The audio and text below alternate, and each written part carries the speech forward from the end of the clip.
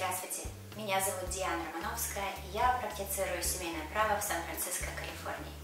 Очень часто мои потенциальные клиенты и клиенты спрашивают, сколько же все-таки стоит развод. И на этот вопрос можно ответить зависимо от какого, какой случай.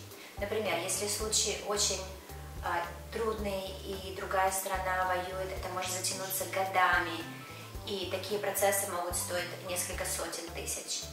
Если развод, например, очень, а, скажем, все и мирным путем люди расходятся, то а, в Сан-Франциско, например, чтобы подать на развод, суд берет 435 долларов. А адвокаты, такой называемый retainer, то есть они берут деньги наперед. И это примерно зависит от случая, примерно от, скорее всего, в Сан-Франциско сейчас больше как 5-10, вот примерно так.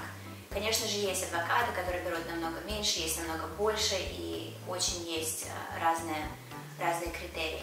Эм, то есть, чтобы примерно вы понимали, развод может стоить от пределах 3 до 10 тысяч, если он сравнительно мирным путем. Если нет, то намного больше. Надеюсь, вам это помогло, и до скорого. Счастливо, пока!